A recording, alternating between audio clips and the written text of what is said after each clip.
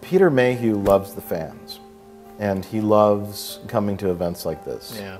Um, I in would fact, agree. I talked to Peter Mayhew. This was off camera. I mean, I Oh, said, okay. Peter Mayhew, why do you do conventions? And he says, he goes, well, you know, I was I was such an iconic character in Star Wars, and and that has meant so much to people.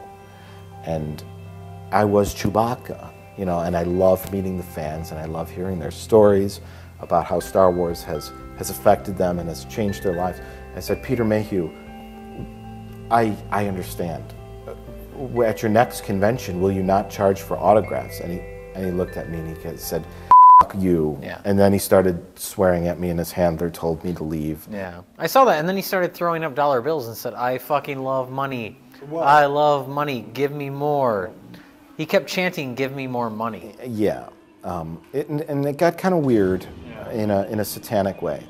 Um, he started he started making weird growling sounds. Like Chewbacca noises, or Well, if Chewbacca were uh, Lucifer, okay, if Chewbacca mated with Lucifer and had a had a child, Yeah. he did wear a fur costume in the '70s in a low budget science fiction film that became popular. Yeah.